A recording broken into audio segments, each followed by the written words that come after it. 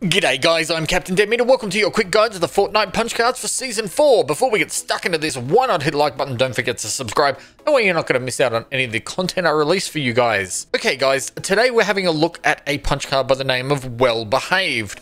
This one is extremely easy, but you might actually forget to do it. It is simple, all you have to do is thank the bus driver. Now, of course, obviously when you jump into a game, you have the ability to thank the bus driver. On a controller, it is on the D-pad, but on a PC, I'm not entirely sure, but you can always look that up in the controls settings. In order to start this punch card, you're going to need to thank the bus driver three times. And to complete the entire card, you need to thank the bus driver 100 times, which means you have to play a minimum of 100 games of Fortnite. But if you really just want to grind through this nice and easily, all you have to do is thank the bus driver, which means you could easily just start up a game, thank the bus driver, then leave start up a second game, thank the bus driver, and leave, and then just repeat over and over. But you might as well play the game out anyway because you're always going to do it.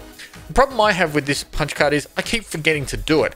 So I actually took a sticky note and put it on my monitor in the top corner that just says, thank the bus driver.